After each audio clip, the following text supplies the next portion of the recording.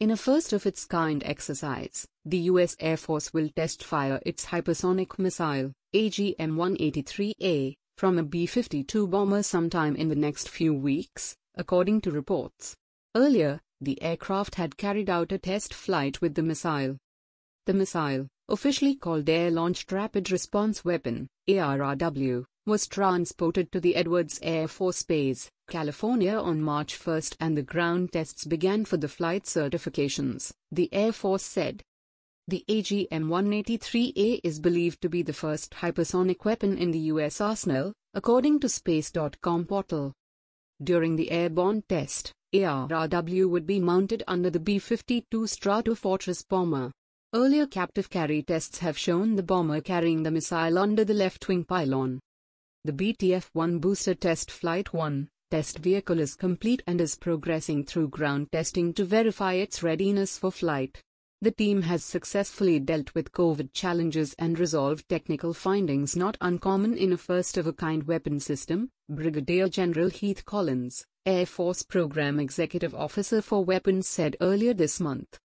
We have minimized schedule delays while maintaining a laser focus on engineering rigor. Our first BTF will happen in the next 30 days, followed by several additional boosters and all up around test flights by the end of the year, he added. The ARRW is a hypersonic boost glide weapon developed by the American aerospace and defense company Lockheed Martin, in collaboration with the U.S. Air Force. The weapon can move at a speed beyond the hypersonic threshold of Mach 5, or 5's the speed of sound. Some experts say it can reach a speed of up to Mach 20. The weapon is perhaps the one, which former US President Donald Trump had referred to as a super-duper missile which is 17 times faster than existing missiles in the United States arsenal.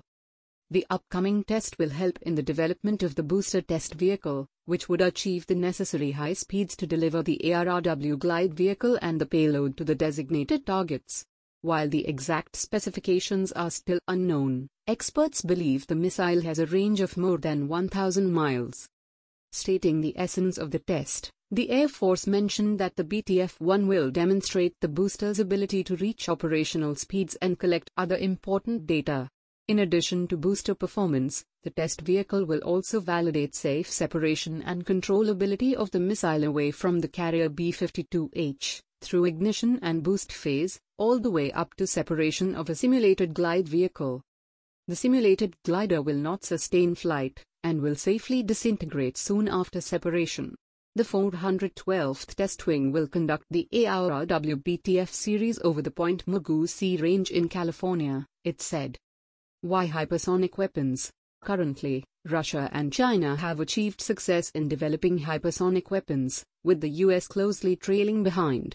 India also tested its hypersonic technology demonstrator vehicle, HSTDV, last year, which achieved all its flight parameters.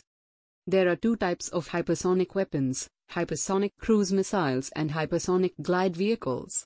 Hypersonic weapons, by definition, travel five or more times the speed of sound. Hypersonic cruise missiles, which are powered by scramjet, are restricted below 1 lakh feet while hypersonic glide vehicles can travel higher. Compared to a ballistic, parabolic, trajectory, a hypersonic vehicle is capable of large angle deviations from a parabolic trajectory. The deadly weapons have the speed of a ballistic missile and the maneuverability of a cruise missile. They can maneuver between varying altitudes and azimuths, making them harder to detect. Currently, there is hardly any air defense system in the world that can intercept hypersonic weapons.